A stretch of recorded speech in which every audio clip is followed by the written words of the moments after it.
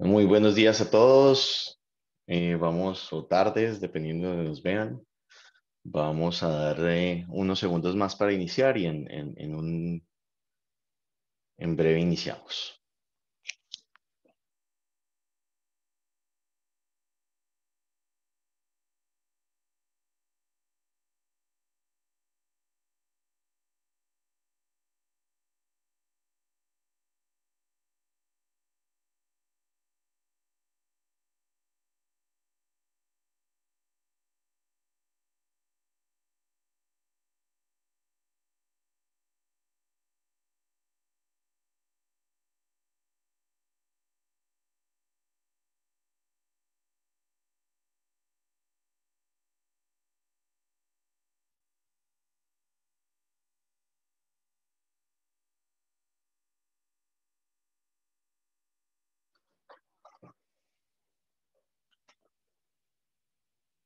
Bueno, perfecto. Eh, mucho gusto a todos eh, los que nos están eh, viendo. para quienes no me conocen, mi nombre es César Araque. Yo estoy a cargo de la región de Centroamérica y del Caribe en Imperva, a nivel comercial. Em, llevo ya, creo que siete años con Imperva. Em, y es para mí un gusto hoy hablarles un poco de lo que estamos haciendo eh, específicamente vamos a estar viendo cómo podemos apoyarlos a hacer tracking de usuarios eh, hacia los accesos que tienen a la base de datos. Es decir, inclusive poder ver cuál es el usuario de aplicación, que digamos es un problema eh, muy frecuente y un reto hoy en día para las organizaciones. para quienes no conocían Imperva, les voy a hablar brevemente y esto va a ser más un demo en vivo, interactuar con ustedes, más allá que una presentación. Esto es solo para introducirlos en qué es lo que hacemos en Imperva. Digamos que quienes nos conocen ya han visto que nos dedicamos eh, a la protección de los datos y de todos esos posibles caminos de llegada a los datos. En alguna época nos escucharon hablar de que protegemos lo que más importa, que es al final del día lo mismo. Protegemos data y aplicaciones críticas de nuestros clientes y aplicaciones como en cualquiera de sus formas.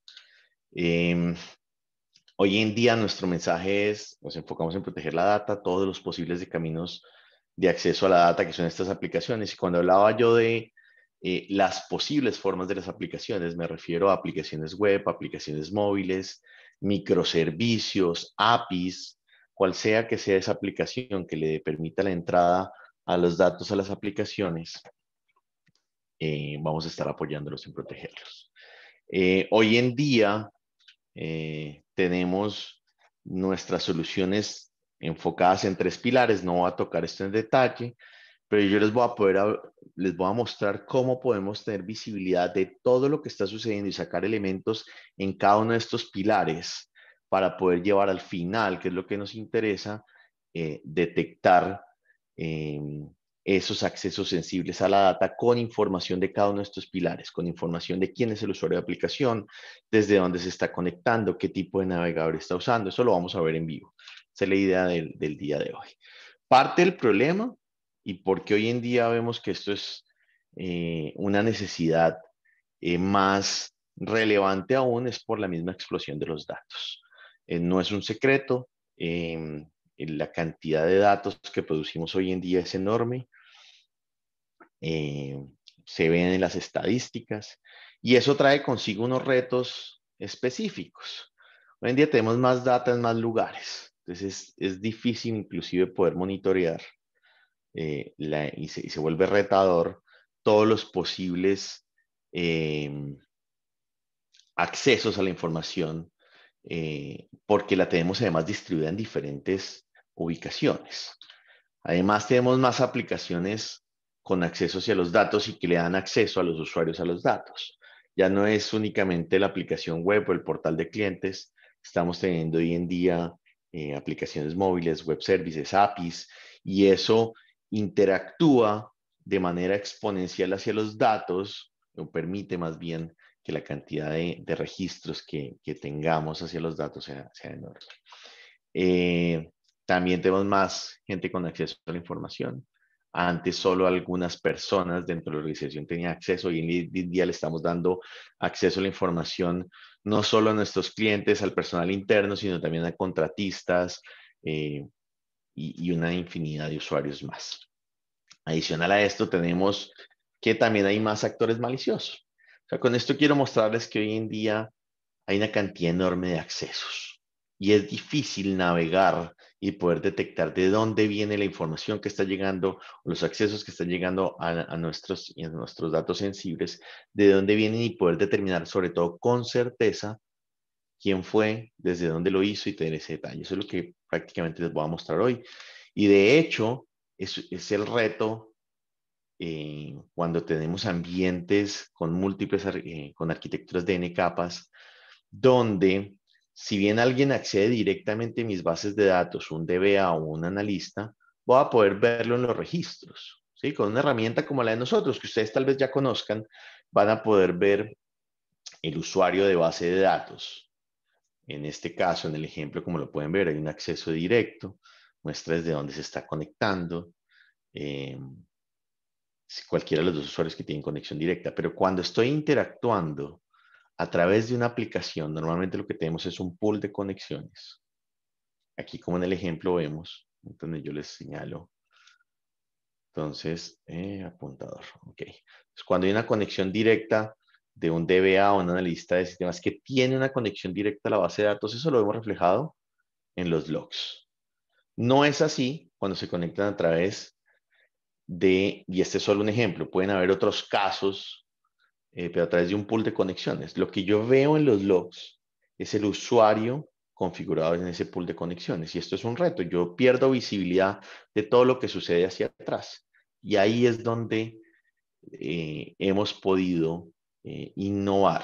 Esto lo hacíamos, quienes nos conocen ya desde hace algún tiempo, teníamos técnicas anteriormente, como lo que se conoce como SQL to DB user tracking o SQL to database user tracking. También teníamos otra que era web to DB user tracking, donde teníamos que poner un, un equipo en la mitad, tanto del tráfico de la aplicación como hacia la base de datos y ahí poder correlacionar los eventos. Sin embargo, eso no nos daba una certeza completa de, de esa correlación y tenía restricciones de arquitectura muy fuertes. Eh, hoy en día podemos dar con total certeza la información, esa correlación a partir de lo que les voy a mostrar. Vamos, eh, en cómo hemos evolucionado nuestras soluciones, hoy en día tenemos presencia en todos esos puntos de camino hacia los datos, donde, y ustedes quienes ya conocen algunas de estas soluciones, las voy a mencionar rápidamente. Esto parte de esos tres pilares, Edge, Application y Database y Data Security.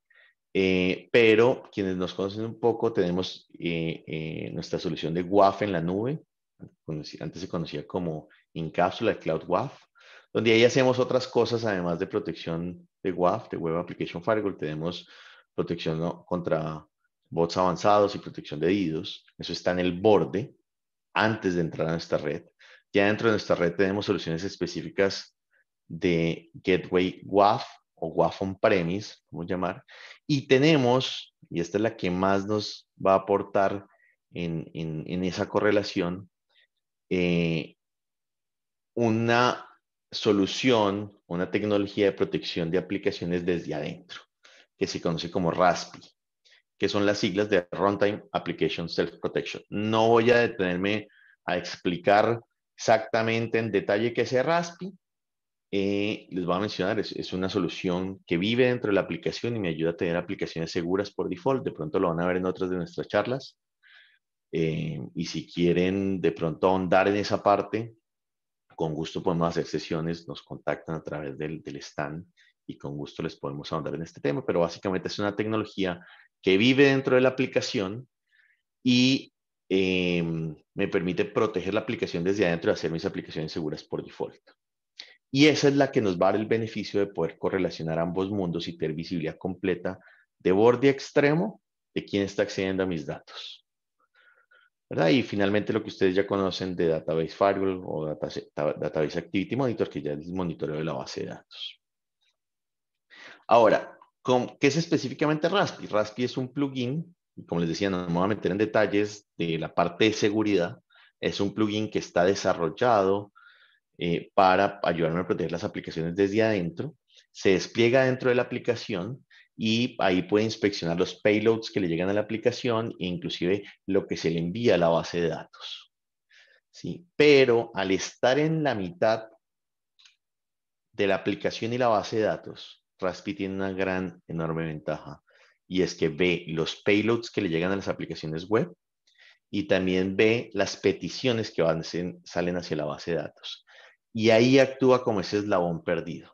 Es decir, ahí es donde nos permite tomar la información de aplicación y embeberla dentro de las peticiones que van a la base de datos para posteriormente, con las soluciones que ya tenemos de, de base de datos, de protección de base de datos, de auditoría, poder tener visibilidad de esos usuarios de aplicación y de cualquier otra información. Lo vamos a ver en un momento en el demo, en vivo, donde vamos a poder ver el tipo de cliente que está usando, la IP de origen.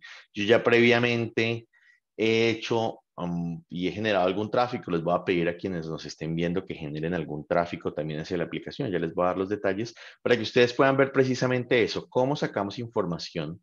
En, en mi laboratorio específicamente vamos a sacar el usuario de aplicación, les voy a dar las credenciales para que lo hagamos. Vamos a sacar información como el navegador, la ubicación geográfica, el, el, zip code, si tienen, si es algo que podamos sacar, en donde estén ubicados tienen un zip code. Eso a través de este plugin de Raspi lo vamos a agregar a los queries que van a la base de datos sin interferir en el funcionamiento de la aplicación y de la base de datos. Esto no requiere modificación del código ni nada. Esto es un plugin que eh, actúa eh, de manera muy transparente y envía esa información en los comentarios que van a la base de datos y los envía codificados para que no interfieran tampoco con nada del proceso ni de la aplicación. Y al final, con nuestra solución que ustedes ya conocen de Database Activity Monitor o Database Firewall, vamos a capturar toda esa información y enviarla a un sistema de Elasticsearch, aquí con con Kibana vamos a poder visualizar toda la información ya en conjunto, toda la información correlacionada. Yo les voy a mostrar inclusive cómo queda eso codificado en nuestra solución. Ahora, ya yendo directamente al, al demo, les voy a pedir, les voy a dejar aquí eh, unos segundos que se autentiquen, por favor, eh, o naveguen a este sitio, ese Cebeda One, LM Perva, es, es un dominio parecido a imperva.com, pero es una L en vez de una I.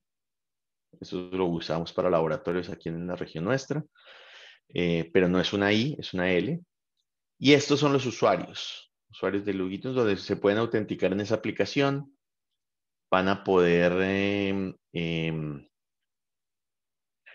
entrar, simular compras, eh, les voy a pedir, por favor, ahí hay un campo de búsqueda. Una vez se autentiquen, hagan una búsqueda también, para que yo después pueda mostrarles en el laboratorio cómo se ve eso. Vamos a dejar esto minimizado. Aquí en una, a un lado de la pantalla, para que lo puedan seguir visualizando. Más pequeño, tal vez, aquí. Esperemos que esto se pueda ver.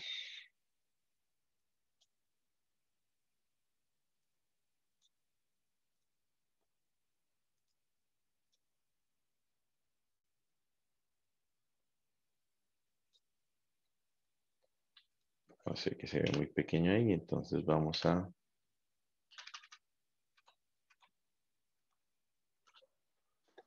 A ver, ojalá vean bien ahí. Dejarlo por acá abajo porque seguramente el video mío lo tienen acá arriba. Perfecto. Entonces, eh, quienes ya conocen nuestra solución de Database Firewall o Database Activity Monitor, recordarán esto, si no se las presento.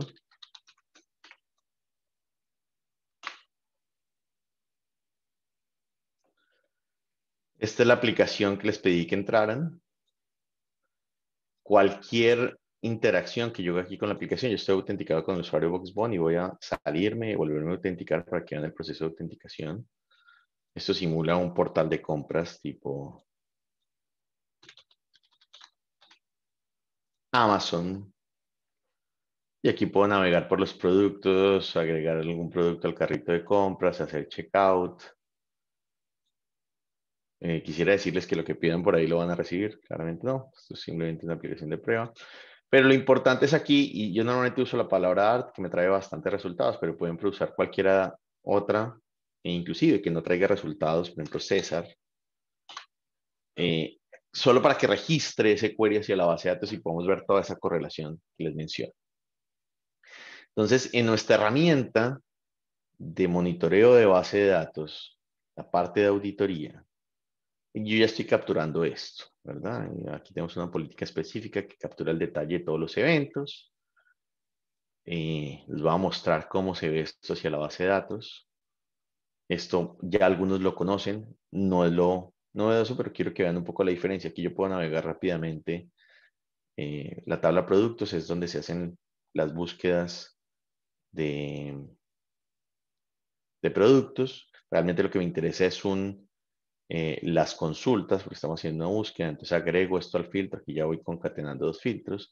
Tengo múltiples queries, seguramente pruebas que están haciendo mis otros compañeros, ustedes allá desde donde nos estén viendo. voy a dar los detalles.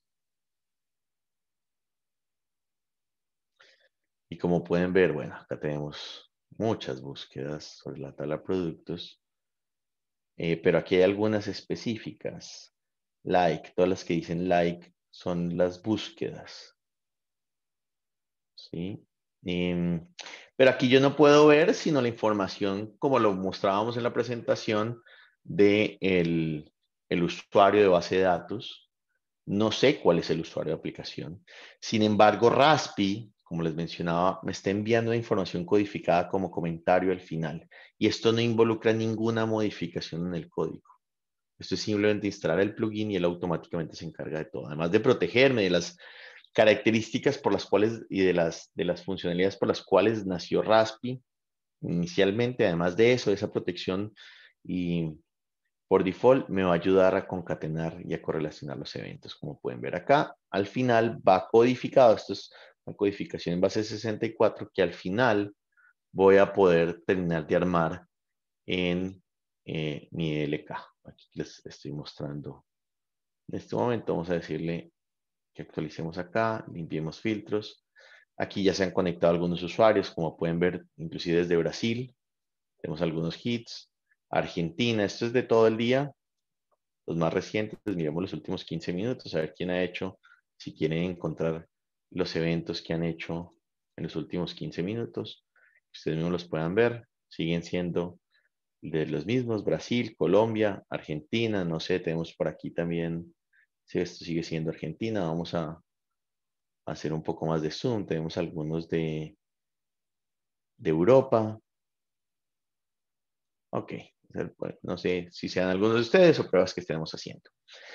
Esto es lo interesante. Si ustedes pueden ver aquí en este, en este dashboard inicial, estamos recopilando y mostrando todo a nivel de cuáles son las URLs que están eh, navegando los usuarios, sacando el usuario de aplicación.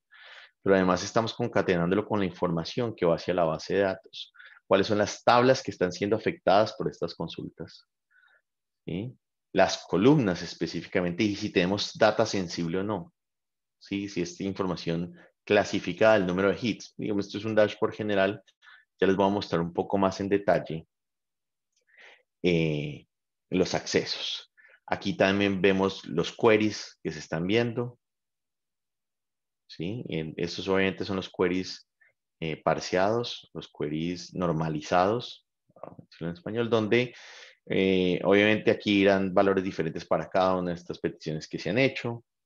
Las operaciones, yo podría centrarme solo en alguien que ha hecho un update un insert, miremos los insert que han hecho, desde dónde vienen. Aquí puedo darle clic en más, en filtro. Esto es, esto es ELK, no es algo nuevo. Los, y se han hecho inserts, perdón, aquí hicimos inserts, tanto Mickey Mouse como Box Bunny. Para esto lo están haciendo sobre la tabla order, supongo que están haciendo y, pidiendo orders, órdenes con el, con el, usuario y aquí vemos cuáles son los queries que se están reflejando. ¿Podría yo ver esto en detalle? ¿Cuál fue el query exactamente? Precisamente eso es lo que queremos mostrarle, mostrarles. Entonces, aquí este es un dashboard muy gráfico, pero si yo quiero ver el detalle de lo que está sucediendo hacia las bases de datos, cada uno de esos accesos, yo tengo aquí un dashboard específico para esa parte, lo he modificado y agregado para facilitar la visualización eh, de los queries. He agregado unas columnas adicionales al final, donde me interesa sobre todo tener el usuario de aplicación. Fíjense que aquí hay mucho tráfico donde seguramente no nos hemos autenticado aún, ¿verdad? Entonces yo voy a modificar y voy a poner aquí username en mis filtros. Y voy a eh, colocar que exista. Es decir, que tengamos un usuario de aplicación. No, aquí simplemente aplicamos. Es decir, solo quiero ver donde se me ha autenticado el usuario. Aquí ya empezamos a ver temas específicos donde tengo los usuarios autenticados. Mickey Mouse. Algunos otros seguramente más abajo. Sí, eso lo podemos ver en detalle en diferentes formas de visualización. Pero lo interesante es que por el usuario de aplicación, el query específico que está llegando a la base de datos a partir de ese usuario de aplicación, la IP de origen, esta es la IP que estamos capturando y recuerden, me voy a volver un segundito a la presentación para que mostrarles esta parte que les mencioné aquí. Yo puedo sacar cualquier otra información de la aplicación web. El usuario de aplicación, el cliente o, la aplicación que está usando o el navegador que está usando. Yo les muestro esa parte también. Y la IP de acá, no la que está generando la consulta la base de datos, sino la aplicación, porque esto lo estoy capturando a través de ese, esa posibilidad que me da Raspi de encapsular toda esa información, tomarla de la aplicación, encapsularla y llevarla hasta la base de datos para que yo pueda hacer esta correlación. Desde aquí es donde se vuelve interesante toda eh, esta parte. Inclusive vemos cuál es la, el país, el estado, la ciudad y si se puede calcular un zip code o no, hasta el navegador que están usando o el user agent para dicha prueba, ¿verdad? Ok, si ustedes que están eh, con la aplicación quieren ver cómo sale la información de ustedes, hagan una búsqueda. Yo voy a filtrar específicamente por el query, por las búsquedas. Eh, a ver, vamos a buscar acá un query. Busquemos uno de estos de la palabra art, que es un query que yo normalmente hago, y voy a filtrar específicamente por este por este query vamos a agregar aquí, perdón, el query normalizado a mis filtros.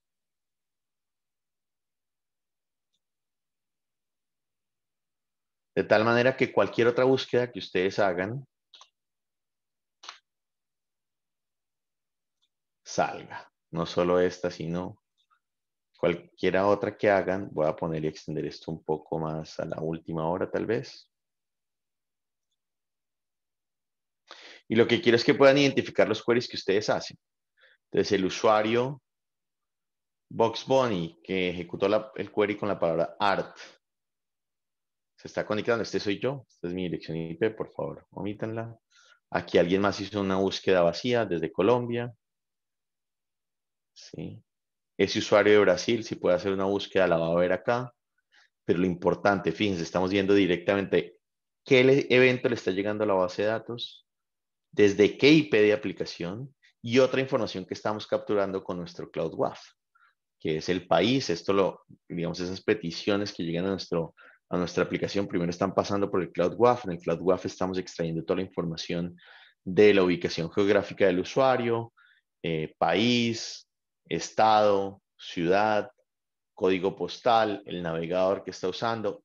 Y para, para que lo vean en vivo e indirecto, usemos otro navegador. Vamos a abrir aquí un Safari. A ver que, en qué monitor abrió el Safari. Abrí en este monitor y vamos a hacer una búsqueda. Exactamente. No, este es otra, este es otra, otro laboratorio. Seveda one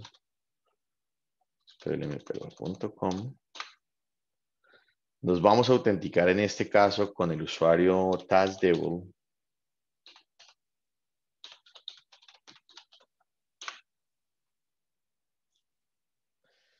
navegamos un poco y hacemos esa búsqueda.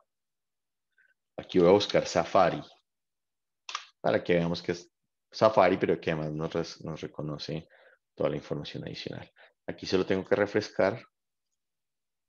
Tengo otra conexión donde la búsqueda desde la palabra Safari, fíjense que esto es en tiempo real. Estamos correlacionando en tiempo real la IP. El, acceso a la base de datos, si la información es sensible o no. Em, el cliente que estamos usando, que es el navegador Safari, es igual a la búsqueda. O para que vean que no es un, truco, perdón. Vamos a hacer otra búsqueda otra palabra, no sé, eh, call, aquí hay un juego, Call of Duty, listado. Hacemos un refresh. Aquí tenemos el query de la base de datos que llega con call, el navegador Safari y pues todos los demás detalles. Como cualquier otro. Aquí les voy a mostrar un poco más en detalle toda la información que podemos capturar. Yo solo estoy mostrando esas columnas, pero para este evento podemos expandir. Está llegando todo lo que ustedes ya conocen y de pronto para los que no conocen de lo que podemos capturar en la base de datos es, la idea les puede responder quién, cómo, cuándo, de los accesos a la información sensible. Si esa información es, es, está ya clasificada, eh, si dispara alguna regla de clasificación, en este caso sí es una, hay una regla asociada de la clasificación previa que hemos hecho sobre esa base de datos. Estos son bases de datos de prueba, pero eh, se detectó un nombre de persona en, en, una de las tablas que está accediendo como parte de ese query. Aquí lo estamos viendo. Em, me da todos los, los detalles, la base de datos, el usuario de base de datos, el evento a nivel del usuario, dónde se capturó, se capturó por medio de un agente que tenemos instalado en esa base de datos, el tipo de evento, si es privilegiado o no el, el evento o el query, si hay información sensible, si lo hay, eh, si la operación completó con éxito, digamos que si lanzamos un query que resulta en error, eh, aquí es, es, otra de esas características, como, como cualquier otra cosa que vemos en, en, en para que no, los que lo conocen. ¿Cuál es el table group asociado a ese acceso, a esa, esa tabla? Es parte de la clasificación. Y más abajo, ya empieza a aparecer toda la información de la aplicación, que es lo que nosotros a nivel de la configuración decidimos capturar. Tenemos temas específicos que estamos enviando desde Incapsula, como la ciudad, lo que les mencionaba, tipo de cliente, navegador, e inclusive latitud y longitud, que no lo estábamos mostrando en las columnas, pero que lo podemos ver acá. Eh, la URL, el referer, y podríamos encapsular casi que cualquier otra información aquí desde la aplicación. Eh, inclusive toda la información de, eh, de la sesión la estamos encapsulando eh, por ejemplo, en esta aplicación en particular, en la sesión se guarda, y aquí puedo estar equivocado, pero vamos a probarlo en tiempo real, se guarda el carrito de compras en la sesión. Entonces aquí acabo de hacer otra petición, acabo de agregar algunas cosas al carrito de compras y vamos a hacer otra búsqueda para rápidamente identificar lo de eh, Art 2. A pesar de que no haya nada, poderlo rápidamente identificar y que ustedes vean que inclusive esos detalles de la sesión, de la cookie, los vamos a poder ver. Entonces aquí, eh, Box1, AR2, este es el evento, confirmado, es el primer evento. Si no lo vean, se los, muestro. Esta es la palabra que, que, buscamos. Y más abajo acá en la aplicación yo estoy encapsulando y enviando toda la información que va en el, en la sesión. Y fíjense, tengo basket item 1, basket item 2, item price 1. Es parte de cómo está desarrollada esta aplicación de prueba. Es lo más recomendado, pero hace parte de la sesión, ¿no? ahí está y, muestra que cualquier información de la aplicación que necesitemos de correlación con los eventos que lleguen a la base de datos, lo vamos a poder enviar y se va a, poder correlacionar dándonos visibilidad completa desde borde, desde, desde lo que está llegando a mi aplicación, esa IP, ese, em, ese ciudad, ubicación geográfica, todo lo que podamos sacar a partir de los requests que llegan a la aplicación, inclusive temas más adentro propios de la aplicación como, como em, atributos de sesión, cualquier otra cosa que terminemos en la aplicación y temas adicionales mismos de la base de datos como la información previa de clasificación. podemos correlacionar todo con 100% de certeza. Esto no tiene em, margen para error. Digamos, tenemos total certeza precisamente por donde está ubicado Raspi, aquí en la mitad, ese eslabón perdido que ve las peticiones de aplicación, me las analiza para los temas de seguridad. Los invito a que, que nos busquen si es de su interés también analizar eh, Raspi como solución, pero el valor que, que, tiene, y esto no es algo que estemos nosotros eh, vendiendo como una solución, sino es en un beneficio que tienen nuestros clientes cuando usan todas nuestras soluciones. van a poder correlacionar de borde extremo todos los eventos hacia la base de datos. Em, los invito a que nos contacten, que ahondemos un poco en esto si lo quieren ver. Muy importante mencionarlo y esto ya para cerrar, les voy a devolver algunos minutos del día. Eh, somos los únicos que podemos llegar a dar este nivel de correlación.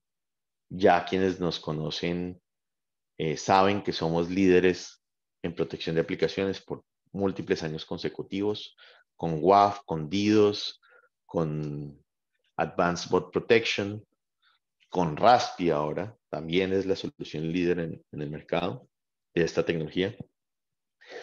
Igualmente en la base de datos, pero además somos los únicos que podemos hacerlo todo y podemos dar esta visibilidad.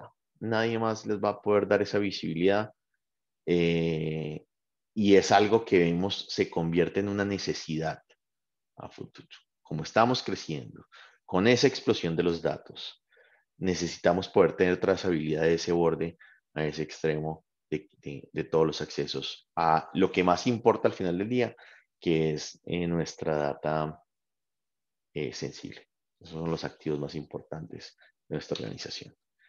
Eh, Nuevamente, muchas gracias por el tiempo. Mi nombre es César Araque, em, encargado a nivel comercial de la región de Centroamérica y el Caribe, pero eh, pues tenemos eh, representantes para, cada una de las regiones en, Latinoamérica. Si es de su interés, se pueden contactar eh, con cualquiera de nosotros. Si no conocen cuál es el representante en su región. Me pueden escribir directamente a mí, cesar.araque.com y yo con gusto los pongo en contacto con ellos.